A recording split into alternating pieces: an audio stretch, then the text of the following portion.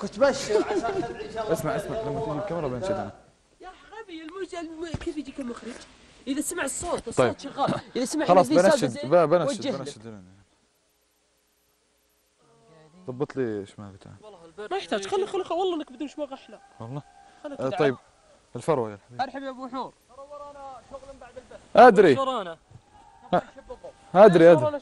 لا يا ولد خلى بيت الحكمه يرحم أمك بالله يا ابو حور يرحم أهلك تكفى خله هناك. والله برد. يا ولد بيصلخنا البرد تعال صار تعال علينا. أنت وعلي. لا لا في في في في في في في في دارين دارين. إحنا نبغى- والذبيح. نبغى نجتمع بعد البث طيب يا أخي بنجتمع؟ بيت الحكمه بيت الحكمه والله إيش يا إيش فيك؟ وإنارة وش اسمه له؟ الله. وكمان- تنفس الحين بس وكمان نشب الضوء هناك؟ بنشب الضوء هناك. والله برد برد. لا والله ما هو برد. والله برد. والله برد. اليوم برد. نبي نشب بيت برد ما شاء الله. يلا سمعنا إيه يا سر. الحمام عيدي.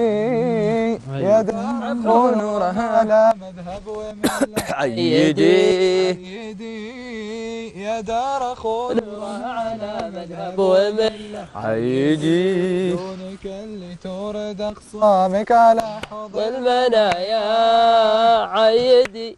كل ناس المانع والدولة هبية مستقلة عيدي يرخص الأرواح من دفع وفا شعب وحمايا عيدي يا دار أخو نورها على مذهب وملة عيدي والله صوت فيها. طيب تشوف إن إن الوقف بإذن الله يكتمل في الأسبوع ذا بإذن الله يا يكتمل ابو يكتمل ولا ما ما. اظني؟ والله يا أبو. حور أنا إن شاء والله الله نقول يعني. متفائل إنك بتجيب كم لي كم لي. أيام من يوم خذيته ما شاء الله ست نسب والله. أول واحد أول واحد في يوم واحد يعدي ست نسب وين لا. يوم لا خذها من قبل اليوم كم أخذت أنت؟ آه، أخذت الربع يعني عندك خميس واليوم الجمعة ما شاء الله يعني اليوم. يومين ستة والله كبير يعني ثلاث. أقول ما شاء الله يعني يعني يومين معدل كل يوم ثلاث نسب يعني في. سبع أيام ب 21 نسبة ما شاء الله أبو حور.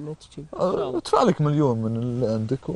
والله لو معي مليون ماني معك هنا والله لو معي مليون. آه. كل ما نقول لواحد آه معك يقول والله لو معي لو معي ألف ما كان شفتني معك. والله. لو معي. والله ما عندي فيك النفلح الله يا أبو يرزقك. حور. لكن اسمع في ناس سبحان الله عنده ملايين بس يبغى الجماهيرية. صح. الجماهيرية ترى ما حد يكتسبها بأي طريقة. حب الناس صعب. فعلا. أنا أقول يا أبو حور. إن شاء الله ان, أن أنت أول شيء لك ناس يحبونك واجد. الحمد لله. ومحبوب يا رب لك الحمد. الحمد والله بيعطيك على قد. نيتك. فعشان كذا أنا أقول إن شاء الله إنك بتجيب نسبة عالية. والله العظيم. أنا النسبة اللي أتوقعها اللي أنا أحس إني أتوقع إنك بتجيب نسبة 30% يلا يا رب. يا رب. يعني ما شاء الله أخونا جابر ترى جاب 25 ما شاء الله. صح. عالية مرة. صح. الله وفقه في وقت سفارته في أمور كثيرة صارت ولك. بدي كسر راسه وتكسر وجيب راسه.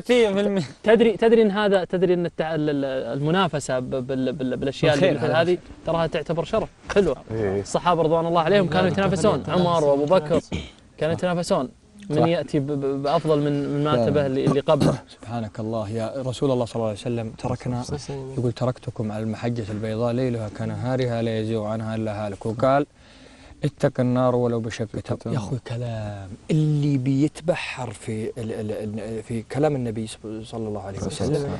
وفيما أعطاه الله سبحانه وتعالى. يعني أنا عجبني مقولة قد أكررها عليكم دائم. عرف أن الحياة سهلة وبسيطة. المصايب لها حلول. صح. آه الأمراض لها علاجات. ال- الموت.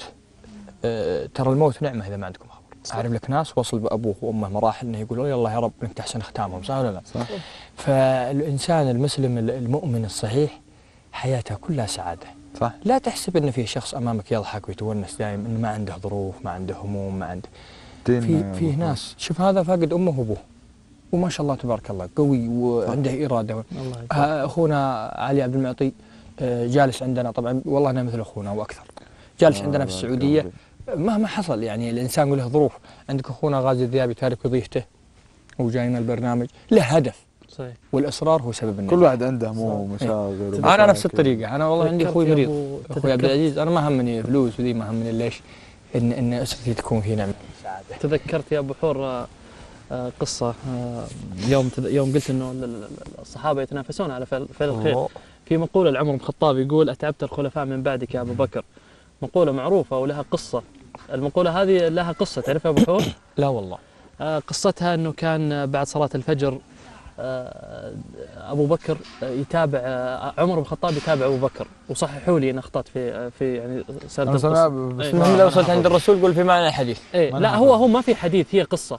فكان عمر يراقب أبو بكر بعد صلاة الفجر وش يسوي تسمعني ابو حور سلم. كان أبو بكر إذا خلص صلاة الفجر راح وطلع برا شو اسمه المدينة وراح في خيمة أو كوخ أو مبنى صغير ودخل فيه. وعمر يراقب أبو بكر ومستغرب يعني إيش إيه. يسوي؟ ويدخل ويقعد له ساعة كذا ويطلع يرجع. سبحان الله. مرة مرتين ثلاث. جاء يوم من الأيام قال أنا إذا طلع أبو بكر أبى أدخل وبشوف وش يسوي؟ وش وش فيها الخيمة هذه؟ وش فيها هالبيت الصغير؟ فلما طلع أبو بكر راح دخل عمر للبيت هذا فوجد إيش يا أبو حر؟ وجد حرمة ما عندها أي شيء. وعمياء وعجوز. فسالها عمر قال أنت يعني إيش كان يجي يسوي عندك الرجال هذا؟ قالت هذا ما أعرفه، قالت تعرفينه؟ قالت لا ما أعرفه. الخليفة أبو بكر. فكان قالت إنه يجيني ويكنس لي ال- الخيمة لي الأكل؟ ويسوي لي الأكل ويروح. لا هو الخليفة. والله ما حد بيسوي هذا. شوف سبحان الله. فقال مقولته الشهيرة تعبت الخلفاء من بعدك. انت بتصير الدين والشرع. ورب العالمين سبحان الله ديننا ترى كمل لنا كل شيء. كل يعني في المحرم اليوم الأشياء اللي حرمها. لكم ديني؟ اليوم أتممت لكم دينا آه، دينكم؟ ورضيت ورضيت اليوم بالاسلام دينا. لكم آه، لخبطتني أتممت اليوم واتممت. لكم دينكم؟ لا اليوم لا أتممت عليكم نعمتي. اليوم أتممت عليكم نعمتي. وكل ما ورضيت عليكم دينتي دينا. إيه وإلى آخره. فرب العالمين سبحان الله ما في شيء حرمه إلا لأن إلا ضرر على آه، الانسان إلا في ضرر. وشوف في أشياء إحنا ما نحس فيها مثل الصلاة والسجود بالصلاة. السجود بالصلاة تدرون انه علاج وإن صحيح. الشحنات اللي في المخ اللي تسبب السرطان. هذا- أزيدك من الشيء البيت اسلم واحد نعرفه عز المعرفة. سنين وهو يعاني من صداع. عدم عدم قدرته في الحراك. إيه. أو إنه يتحرك بصعوبة. بصعوبة بصعوبة. راح ألمانيا. علاج. قال له الدكتور قال له أنت مسلم؟ قال لي مسلم. قال أريد منك شغلة واحدة. انت قال صلي شو؟ قال تسوي لي حركات الصلاة علاج طبيعي. الله. علاج طبيعي. قال تقلد لي حركات الصلاة. شكله مسلم لكن ما يركعها. أقل من شهرين الرجل مفاصلة تتحرك عادي. المريض. مسلم ولا ما هو مسلم؟ أقول لك عارف اعز آه المعرفه يقول سوي لي حركات الصلاة. أيوه ما يصلي هو يعني. لا يصلي وهو جالس. إيه. قال أبغيك بس ترص على عمرك تسوي حركات الحركات. الصلاة. سبحان الله. وشوفها أنا الله. اللي سمعت أن واحد اكتشف هالامر أن الإنسان يقعد بطريقة السجود. هو مو مسلم قصة قديمة. أنه يقعد بطريقة السجود عشان الشحناء تمتص هذول الشحنات الوثنيين ذول اللي في العباد المجوس ذول. يقول لك سافر بيوم من الأيام ورايح هالعلاج هو اللي اكتشفه. ورايح بيوم من الأيام دولة. وفجأة وإذ يشوف مسجد وناس ما شاء الله وتصلي ويشوف الناس تركع تسجد على الأرض. يقول لك تفاجأ. إن هذا علاج أنا مسويه. أنا اللي معطيه لكم واحد إيه. معينين بس. هو عندنا من إنه سوى 1400 العلاج سنة. يمتص الصدا- الصدمات. يقول لك راح يسألهم هذا إيش؟ قالوا هذا إحنا مسلمين وحركاتنا في الصلاة إحنا نسويها دائما كل يوم. عبد الله واسلم الله عبد الله يسامحني من. واحد ولا من واحد نعمة. الله يسامحني منه. كنا نصلي فأبغى أضحك. وهو يسجد ما يدري إيش اللي توه. فأجيب هذاك اللي يمسك القرآن عرفت؟ يوم قد هو بيسجد طبعا لقيته يسجد بقوه واجيبه واسحبه. وأنا صغير والله.